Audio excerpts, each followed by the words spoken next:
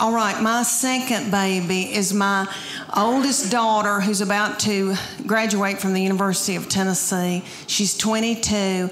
And let me tell y'all, I know every crow thinks theirs is the blackest, but let me say that she is a beauty.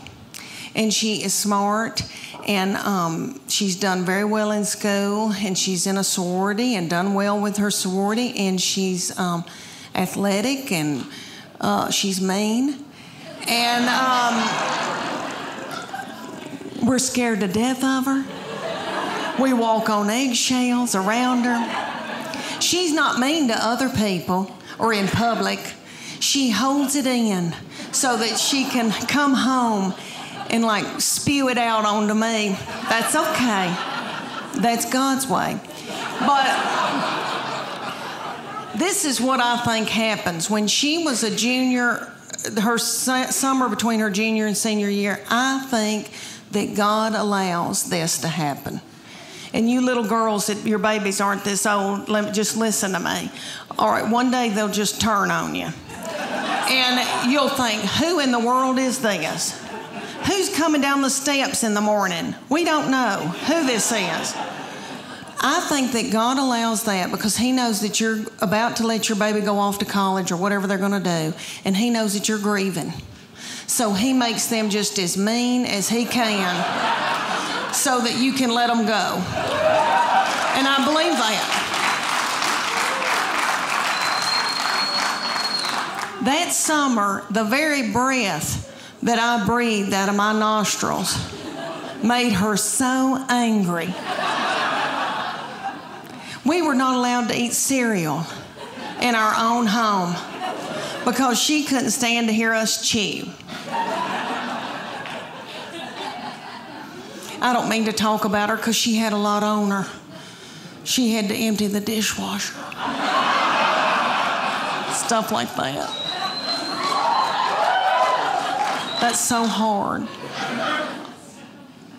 Okay, let me tell you about an example when she was probably your baby's age, your, y'all y'all's little children, because y'all are so cute. Look, they their thyroid's still functioning. Y'all still got hair.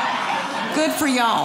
Um, y'all got on little breeches. Yay. Okay when my baby, when my middle one, when she was in elementary school, I was so blessed that I got to pick, take them to school and pick them up every day in my minivan. And I would watch them come out, my girls, and I saw them. They were in a good mood. I saw it. All right, they would be goosing each other and waving to all the little children and the principal see you tomorrow. Okay. Then they they come over to my minivan, get in, slam the door. That middle woman take her backpack and sling me in the back of the head with it. She'd say every day something like, I'm starving to death. You don't have a piece of cheese in this car? Your driving's making me car sick. I hate her. Why did you have her? And the baby be sitting over the bank, she'd be going, Mom, Mom, Mom, Mom, Mom. And I'd say, What? And she'd go, Mom, Mom, Mom, Mom. I go, What? I'm listening. She could say some of the craziest things. She said to me one day, Did Jesus ever have head lice? How do you answer that? I said, Well, baby, I don't I don't know. But if he did, I know he healed it. Thank y'all so much for watching my special. Um, now I need you to watch my entire special for 99 cents and then click it. And then I need you to watch more clips and then click it. And I don't know what you're supposed to be clicking, but they tell the young people are telling me. I don't understand, but just click it.